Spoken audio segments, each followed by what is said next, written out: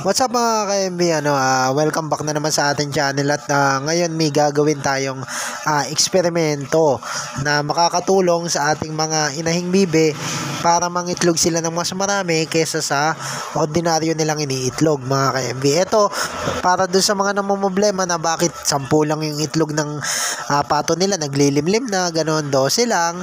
Ah, sa kabila ng pinapakain naman nila ng masustansya, dakler, kompleto naman sa vitamins, eh, konti pa rin mga itlog. So, ito isang diskarte mga ka-MB na matagal ko nang alam, pero hindi ko usually ginagawa kasi okay naman mga itlog yung mga pato ko. Pero, susubukan natin ngayon para rin mapatunayan sa inyo na legit po. Ah, etong, etong pugad na pupunta natin mga ka-MB, ito'y nangingitlog dito, etong dumalaga natin. So, first timer po ito mga ka-MB. Ano usually ang nagiging itlog ng mga first timer? Konti lang po. Pero ang gagawin natin ngayon mga ka-MB is kukuhanan natin siya ng itlog. 'Di ba 8 na to mga ka-MB Kuku ang ang experiment na to kukuha na natin siya ng itlog. Habang nangingitlog pa siya wag niyo gagawin daw pag naglilimlim na. So habang nangingitlog siya nakapangitlog na siya ng 8 kunan niyo ng apat. So itabi niyo po yon sa safe na area. Mamaya eto kukunin ko siya ka-MB ang gagawin ko diyan is kukunin ko yung apat tapos ililipat ko sa isang lugar. Ngayon, syempre, ang alam nyo ba ang mga inahing pato, saka inahing mga manok, matatalino yan mga ka-MV. Pagka, pagka ng itlog yan, Ah, tapos may nababawas, kunyari may nababasa, ganyan, mangingitlog pa ulit yan hanggang ma-reach niya yung tamang bilang ng itlog. No, mga ka-MV. Tapos kung alam niya na nakain niya ng limliman, yung kunyari 10, okay na siya doon, mangingitlog na siya.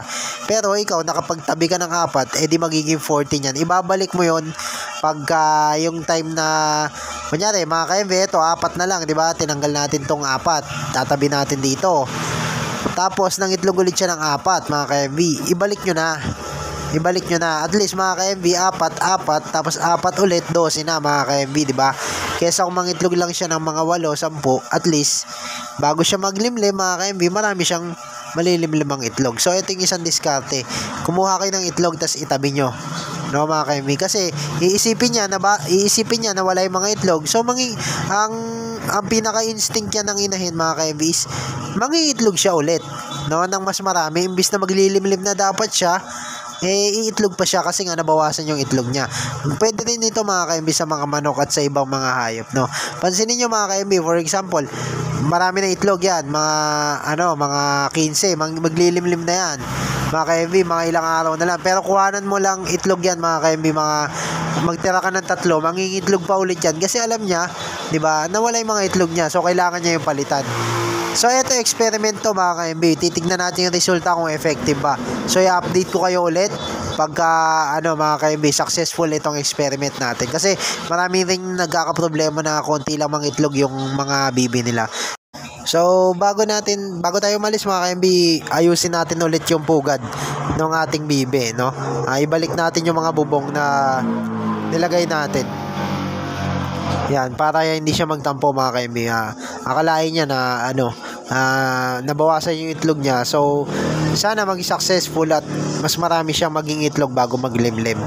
So, ayun lang mga ka-MB. So, hanggang sa muling upload natin mga ka-MB, update ko kayo. Salamat!